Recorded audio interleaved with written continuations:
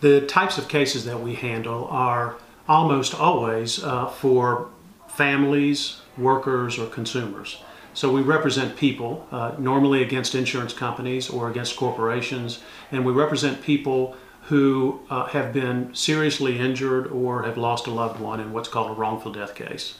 These cases can result from an automobile accident, which always has insurance, or a truck accident. Uh, they can result from what's known as premises liability, uh, that is, it happens at somebody's property.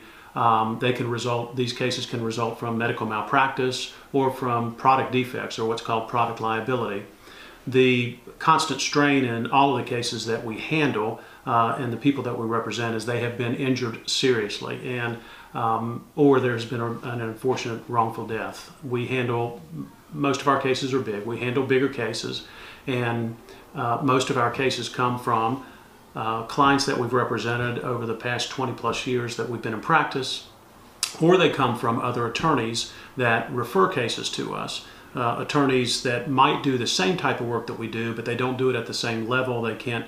Uh, they often do not have the resources to actually take the case to court or the experience to actually try the case.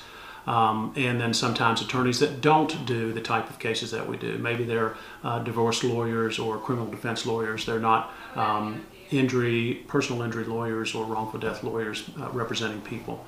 So those are the types of cases that we uh, normally handle, and, and uh, those are the sources really from where we actually get the cases.